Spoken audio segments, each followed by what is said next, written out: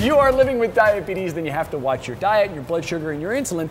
But you also need to pay close attention to your skin. Here with why is Carole Ann Maloney from BD Canada and her friend Lipo Larry.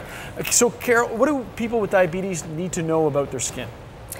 Basically, a recent study in Canada showed that one in four people that live with diabetes mm -hmm. that mm-hmm. inject insulin have a condition called lipohypertrophy under their skin. Okay. And what lipohypertrophy? Yeah, what is that? Yeah, lipohypertrophy is basically a buildup of fatty tissue that accumulates under the skin. So here, if you take a look at Larry, you can see he has He's been great abs. He's oh, been yeah. working out. Uh, but if you feel under the skin, there are some spots that don't feel as um, oh, as oh, yeah. they feel a little bit hard underneath. Yeah, and okay. That's, that's caused by repeated injections into that area over a long period of time. Okay, so uh, the big word, hypo? Lipohypertrophy, or exactly. lipos for short. What I was going to say. Um, that's not dangerous for, for Larry, but it's not getting him the insulin that he needs properly. Exactly. So if he chooses to inject, continue to inject into that area, insulin isn't being absorbed the way that it should be. Okay. And then he's using up to 15 units more insulin than he actually needs, which is quite a bit. So what does Lipo Larry need to do then?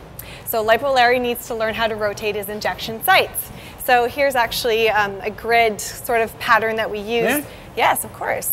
So this uh, demonstrates the size of a proper injection area. Okay, so, so, if this was part of his abdomen, he would go there for exactly, one injection? Exactly, and then move a finger width apart for the next injection, and then the next, and the next. And one key component in this is that when you're using bigger, wider injection areas, not just tiny little areas, yep. you need to use a shorter needle to make sure that you are uh, not injecting into muscle, but rather injecting into fat. Okay, so Larry doesn't have a whole lot of fat on him. No, he doesn't. So he needs no. a small needle because he wants it yeah. going to fat and not the muscle. What's the problem with going into the, if he goes into the muscle? So if he goes into the muscle, insulin is being used far more quickly than it should, and it doesn't last as long as it should.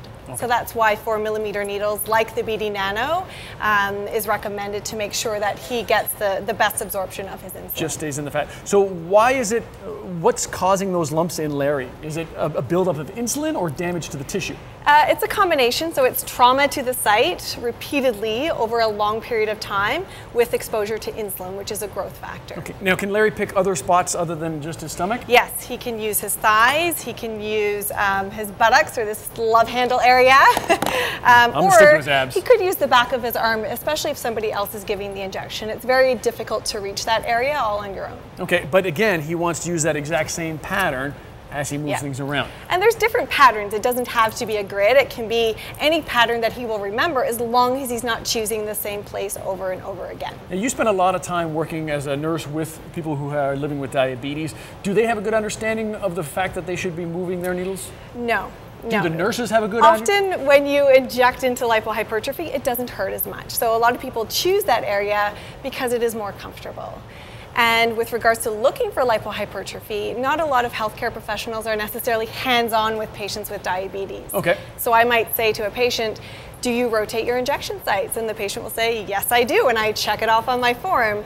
Uh, but what we know now is that getting hands-on and, and, touching a site can unveil some things that, uh, that we might not have known about just by asking. All right, so if you have questions, if you have something there that you need to have answers for, all you gotta do is go to breakfasttelevision.ca. You'll find all the links on BDN and Lipo Larry.